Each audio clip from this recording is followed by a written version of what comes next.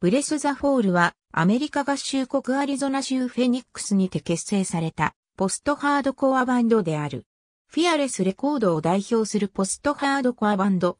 メンバーの多くがカトリック教徒であり、歌詞にもイエス・キリストの教えに基づいたものが多く含まれているが、彼らは自身をクリスチャンバンドと称していない。2004年に当時高校生だったメンバーによって結成。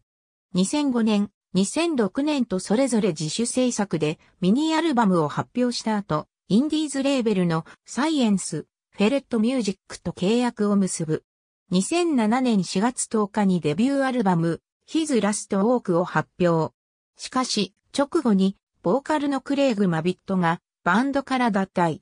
しばらく新メンバーを探し続け、2008年9月に、ボーボー感を迎え入れ、ようやくバンドを本格的に再始動。その後、フィアレスレコードへと移籍。2009年10月6日、セカンドアルバム、ウィットネスを発表。全米アルバムチャートにて初登場54位を記録した。